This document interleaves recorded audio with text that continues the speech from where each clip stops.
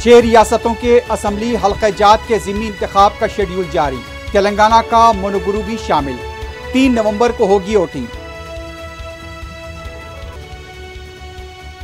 लखीमपुर खेरी वाक़े का एक साल मुकम्मल। अमृतसर में किसान तंजीम का रेल रोको एहतजाज। इंसाफ का मुतालबा। कर्नाटक में जारी भारत जोड़ो यात्रा में किसानों के मसाइल पर भी बात होगी। जयराम रमेश की प्रेस कॉन्फ्रेंस। बम रखे जाने की झूठी इतला पर ईरानी तैयारे की हिंदुस्तान में हंगामी लैंडिंग और फिर रवानगी।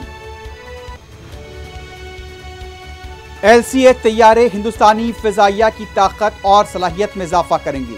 आत्मनिर्भर भारत के समत बेहतरीन कदम, वज़ीर दिफा ने हेलीकॉप्टर में किया सफ़र।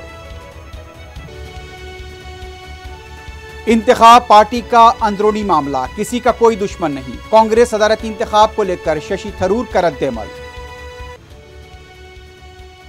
कलवा कुंडला खानदान के टीआर को वज़ीर अला बनाने का ख्वाब देख रहा है। किशन रेड्डी की प्रेस कॉन्फ्रेंस।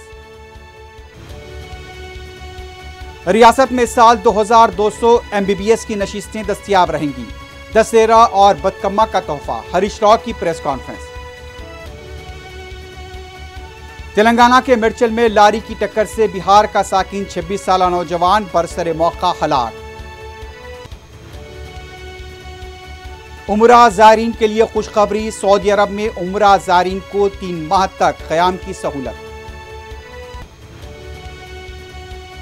महसा अमीनी हलाकत के खिलाफ ईरान में एहतजाज जारी, हलाकत ने एक सौ तैंतीस से तजावज़ कर गई।